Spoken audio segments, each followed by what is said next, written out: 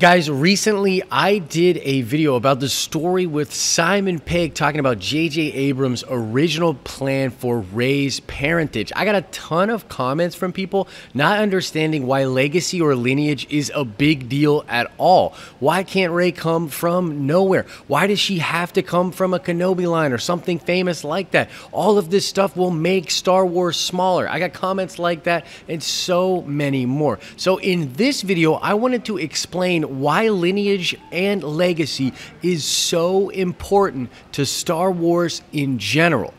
Let's talk about it.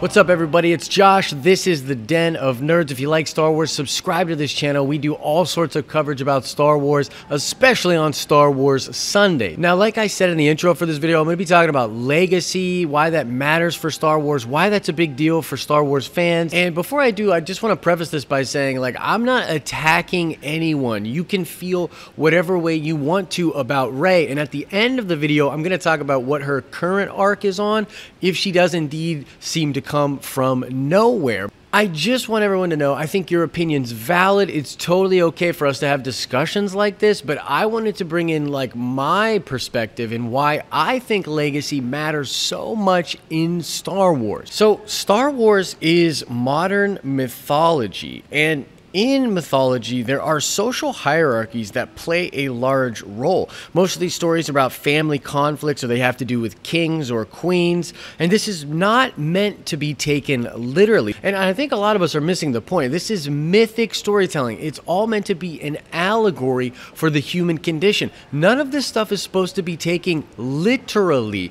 That's what a fairy tale is. It's a story that tells you a greater truth, but it's not reality. As an example, the object lesson in Romeo and Juliet is to not let old family feuds or family histories continue to rule the way you live your life. That Romeo and Juliet story is also meant to talk about young love and making rash decisions and it's framed in this big family feud type thing and all of these generations that has all of this weight to it. But that's all just meant to give focus to the conflict to give focus to the problems that the characters are dealing with. This is an example of social constraints and expectations that are built into every human out there. You're expected to do certain things. You're expected to act a certain way. This could have something to do with your family with the community with your friends whatever. And even if you don't come from a royal family, you can still get the lesson from Romeo and Juliet.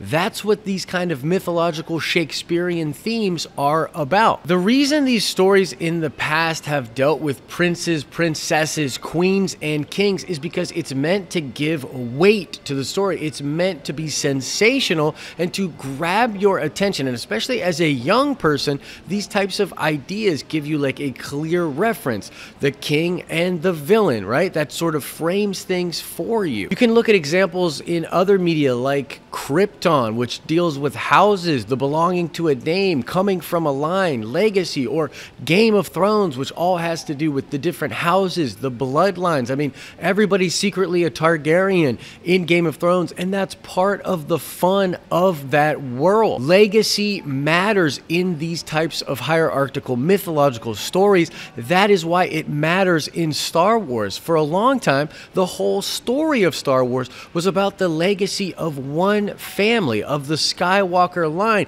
And although we love characters like Han Solo and Chewbacca and Lando Calrissian and on and on and on, they are not the central focus of the story. They are not the thing that the story is about. And the allegories in the monomyth have more to do with the human condition and the struggles we all have to find our own identity and to deal with love than they have to do with being from a famous bloodline. After all, Skywalker wasn't really a powerful bloodline until Anakin was deemed the chosen one and later on became Darth Vader. Now, I want to talk about another mythological story out there. This comes from the Lord of the Rings universe. Now, in Lord of the Rings, Tolkien was particularly focused on this idea that a hero can come from nowhere. So even though it plays within a world of high fantasy, which does have a legacy, which has different races, which has power struggles and different things like that, it also has a main character that's literally just a short little hobbit from the Shire where he just enjoys eating food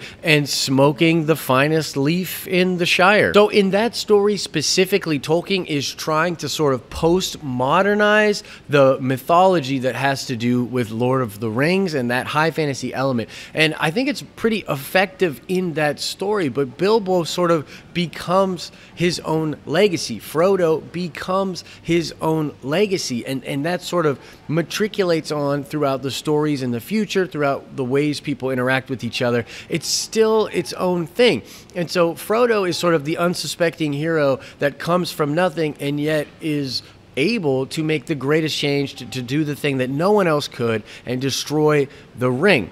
And so for right now, that's the kind of journey that Rey is on. Rey comes from nowhere and she's playing out this can you change your stars sort of motif. And if they indeed continue to go with that direction, the fact that she does come from nowhere, I'll be completely okay with it. But at the end of the day, her status in the galaxy will elevate itself to this heroic level. And then the legacy that she will leave behind will be tied to her name, to her possible family and progeny, and to the Jedi that she goes to teach. And so you see, either way, it ends up being about lineage and legacy. But I wanted to address this because I personally love the idea of Rey being attached to the Kenobi line or to the Palpatine line. And I saw a lot of people arguing against this in the comments, which by the way is totally fine. But I just look, it's a part of the fun of Star Wars. That's that's a whole part of the game, man. The fact that she's a Kenobi is very, very cool if she ends up being one. So I just wanted to make this video and sort of bring this to your attention because I got so many comments on that video yesterday